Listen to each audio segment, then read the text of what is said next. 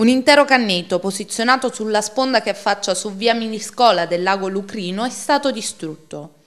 Forse la realizzazione di un parcheggio abusivo alla base dell'inspiegabile scomparsa che ha interessato nei giorni scorsi il lago Lucrino, bacino naturale situato sulla costa flegrea a poca distanza dal lago d'Averno e che dà il nome alla frazione del comune di Pozzoli che lo circonda.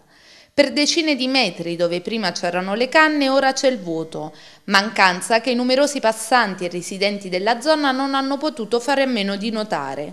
un vero scempio ambientale operato da ignoti. Interpellato infatti l'assessore all'ambiente del comune di Pozzoli Franco Cammino si è detto completamente all'oscuro di una simile operazione che tenendo conto dei numerosi vincoli paesaggisti e ambientali che interessano il lago avrebbe difficilmente potuto ricevere l'autorizzazione da parte degli enti competenti, ovvero comune, provincia e soprintendenza ed in ogni caso, afferma l'assessore, l'ente comunale ne sarebbe stato al corrente.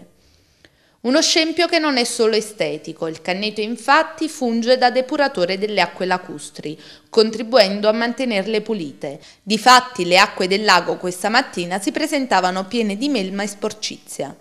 Immediata la reazione del partito ambientalista dei Verdi Ecologisti che hanno inoltrato regolare esposto alla Procura della Repubblica e al Corpo Forestale dello Stato per le indagini e gli eventuali provvedimenti.